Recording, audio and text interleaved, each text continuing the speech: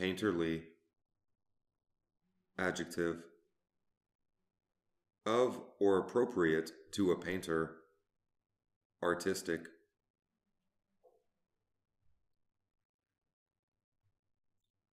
Of a painting or its style.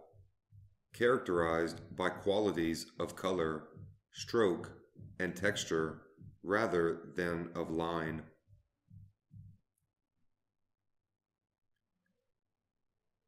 Painterly